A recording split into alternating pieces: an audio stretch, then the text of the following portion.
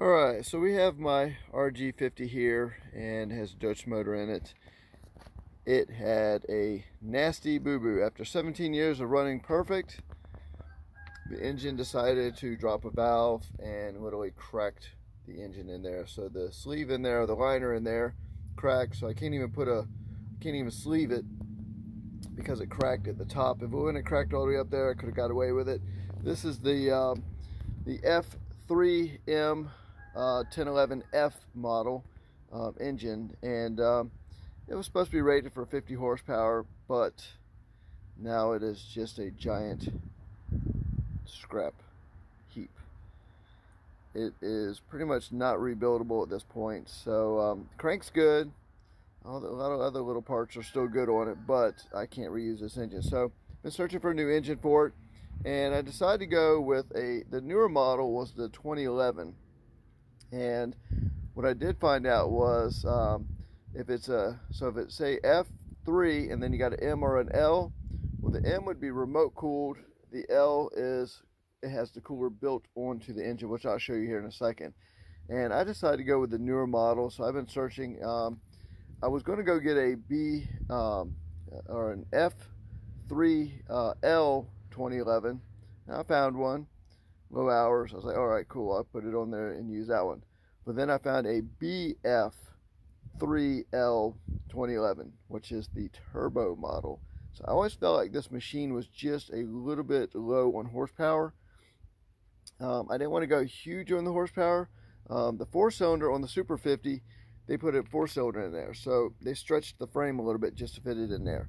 I didn't want to do that, so I decided to go with uh, same three cylinder engine, just it's got a turbo built on it. It's gonna be a very tight fit.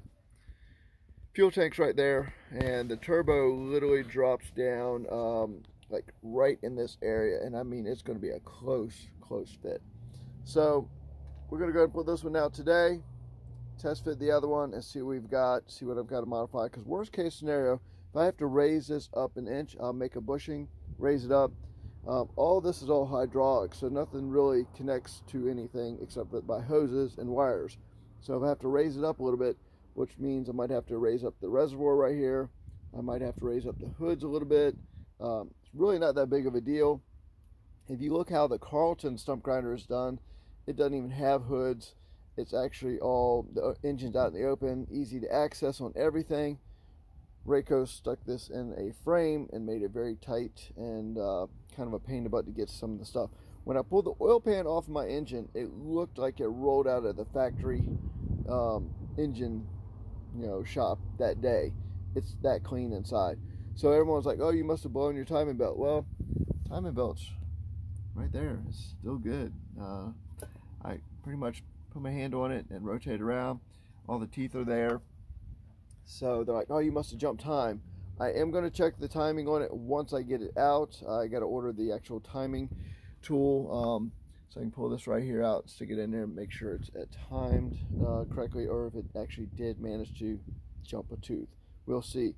Right about when it did it, it did a bounce, and then it pretty much made that noise like it's doing a hardcore miss, and then right after that, you know, blew oil everywhere. So yeah. So let me show you what we got for the replacement. It is going to be awesome. And there it is. This is the BF3L 2011. So it's the newer model. Um, the L, because it's got the cooler I was telling you about, is already built onto the engine.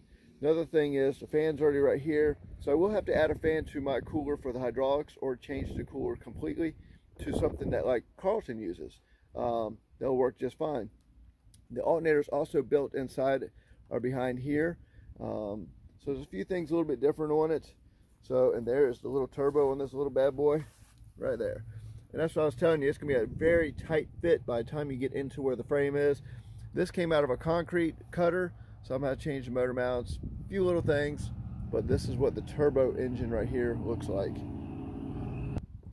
Now the 2011 will fit where the 1011F was.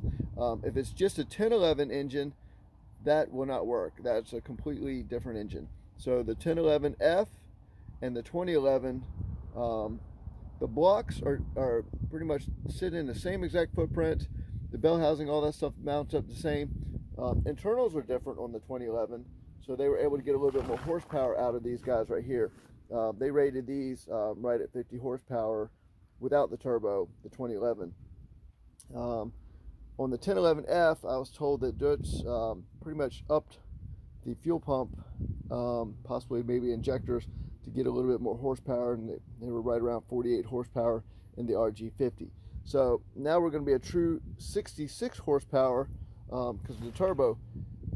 I don't have to run this at full throttle, full RPMs, and try to push, you know, the 66 horsepower. But you know, if it is a little bit more horsepower, it in theory should work a little bit easier, recover a little bit easier. Um, you know, I just won't run it at full throttle kind of thing. So the turbo should allow it to recover on a hard stump, uh, you know, a lot easier when it gets a bog spot. So um, kind of excited to try to get this thing stuck in there, um, or I should say shoehorned in there because, uh, like I said, this the turbo right here, starter goes behind that shield right there. And I mean, when I did it by my fingers, it's two where my fingers goes between a little bit more two my fingers between the uh, starter and the frame of the machine or the fuel tank and the fuel tank is built into the frame of the RG50 so it is going to be a tight fit um, just worst case scenario I have to cut the fuel tank put a little indention in there re-weld everything back up repaint everything um, or raise this up by an inch all the way around and um, just raise the hoods. So let's get in there and uh, we'll start on that here in a little bit. I just want to share with you guys the project that I'm doing right now. Um, kind of makes sense though because everything else I always modify so sticking a uh, you know, turbo um, engine in my RG50 uh, and if I remember or I know actually I should say if this is correct this will be the first turbo RG50 they did make an, a turbo on the Super 80 or the RG80 that had a turbo engine in it, but the RG50 um, and the Super 50 were just NA engines. So this will be probably the very first turbo RG50. So we will see how it goes. All right, this is the intro video on it. So stay tuned for all the other videos as uh, we get the other um, engine out and then get this one test fit in there. I'll do some updates over the next uh, couple days because this is going to be a quick change. Um, I got some stumps I have to do after we had a hurricane. I have some customers waiting, so this has got to be done quickly. So stay tuned for updated videos coming up.